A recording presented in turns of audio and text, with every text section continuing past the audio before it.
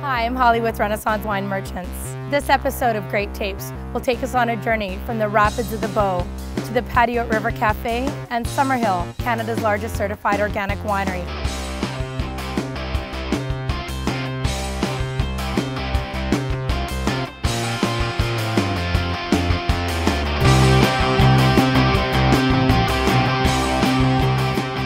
Get ready as we explore the natural sources of wine and food found right here in Western Canada.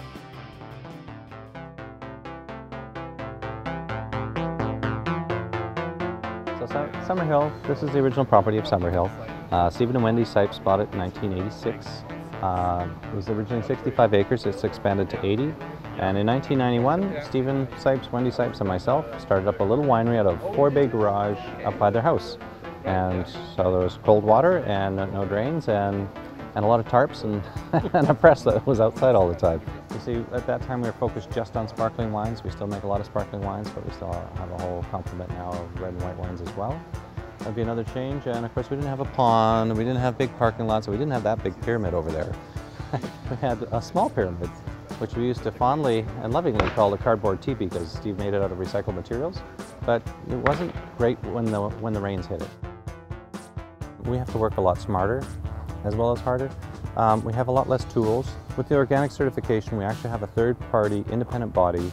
And what that physically looks like is they'll actually come in and grab a bottle off the shelf and say, okay, I want to know who picked it, and I know when it picked, I want to know the name of the truck driver, I want to know when the truck showed up, I want to see all your bin picking tags, and I want to follow it all the way through the winery and every single process and how it came to be into this bottle.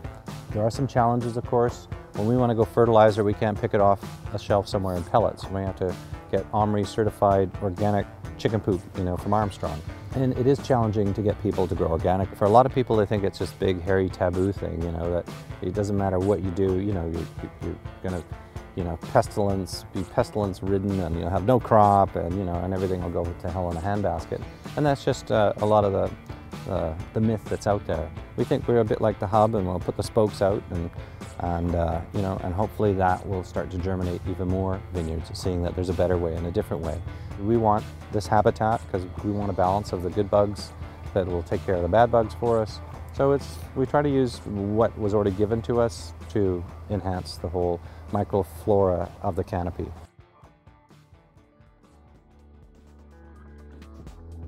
I'm Kyle Moody, uh, retail manager at Zin.ca down in Inglewood.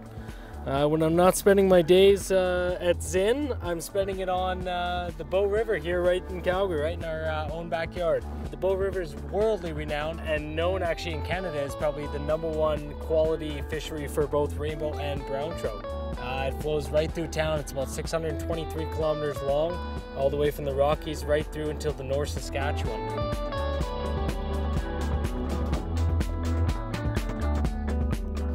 fishing is is absolutely phenomenal. So we'll see if we can uh, we can do a couple for you.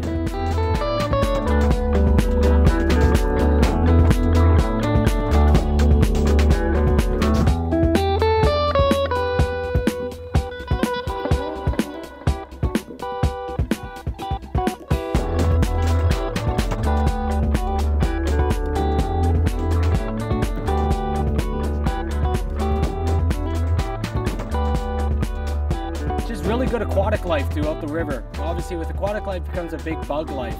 Um, obviously under surface and you know on top of the surface as well and the fish have just thrived in this river system for for a long time and for years to come for sure.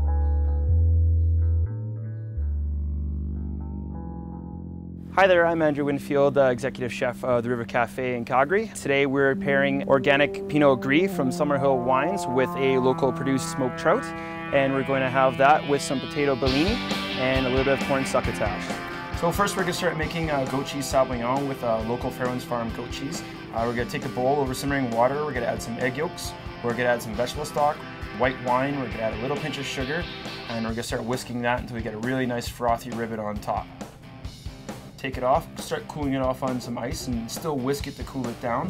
Uh, and then we're going to add the goat cheese right away into it and then we're gonna start whisking some cream on the side. So once the cream actually gets to a really nice frothy stage, we're gonna take that and then fold it back into the cooled sabayon. So now we're gonna start making a uh, corn and fava bean succotash. Let's start that off by sauteing some peppers, some shallots, some garlic. So the garlic scapes are the nice kind of tops to the garlic you're getting. Really potent flavor and nice tender crunch to them. Start sweating that all down to get nice and soft. Then we're gonna add in the corn and the fava beans. Keep it going for a little while. And then we have some fresh dill and fresh chives that we're gonna chop up really quickly and add that in to finish it. So now we're gonna start by frying some smoked potato bellinis in a cast iron. So now putting it all together, we're gonna take the bellinis out, add them to the plate. Uh, so Cunningham smoked trout. We're gonna take that, add a little of the warm succotash over the top, drizzle some goat cheese sabayon, and then we have some fresh borage flowers from my garden at home that I picked this morning. So the Get to Know program is a program put up by the Robert Bateman Foundation. Most kids in the schools these days only know maybe 10 wild animals, but they can recognize two to 300 corporate logos. So this foundation goes out to the schools and teaches um, young kids about wild animals. Uh, we donate a bucket bottle, and it's a great program to be involved with because it is unfortunate that every, you know, a society keeps pushing us into the techno technology world. We keep getting separated from the natural world, and so it was, for us it was a very natural thing to support. There's a better balance uh, between the land and the grapes, and what you're getting flavor-wise, I find, is a lot more intense. There is a significant um, increase in the amount of sugar-free extract or minerality in the grapes uh, from biodynamic and organic growing grapes. So that's what I'm seeing anyway. It's evident that organic practices seem to be on the rise and there's a renewed appreciation for the local bounty found right here in our own backyard.